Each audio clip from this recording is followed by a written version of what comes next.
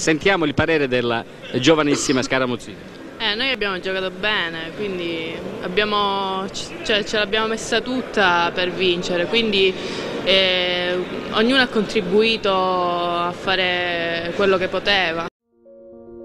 Di partite ne ha vinte tante, di quella palla arancione a spicchi aveva fatto la sua vita, anche ora che in campo da protagonista non scendeva più.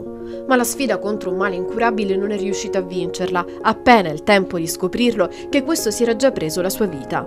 Piange una perdita importante il mondo del basket calabrese. È scomparsa Angela Scaramuzzino, anima per anni della pallacanestro femminile d'eccellenza tanti gli anni giocati in A2, dalla partenza in quel di Lamezia, la sua città natale, passando per Catanzaro e poi diventare un simbolo del basket silano, giocando per tantissimi anni nella centro pallacanestro Rende.